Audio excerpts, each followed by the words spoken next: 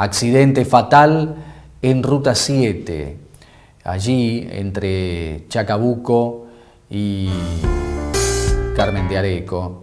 Ustedes ven imágenes impresionantes registradas por un portal de, la ciudad de Chacabuco, que pensás Chacabuco, que ha publicado este video.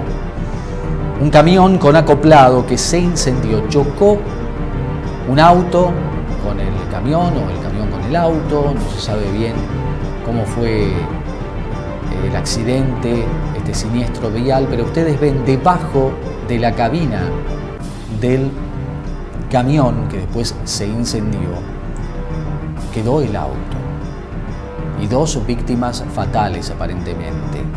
No ha trascendido todavía por el estado en que quedó el vehículo y además se incendió las identidades de las personas fallecidas.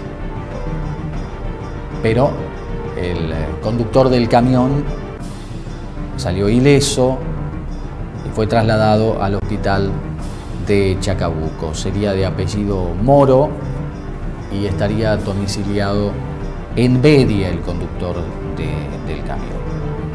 Impresionante, esto fue a las tres y media de la tarde aproximadamente, en el kilómetro 168 de la Ruta Nacional número 7.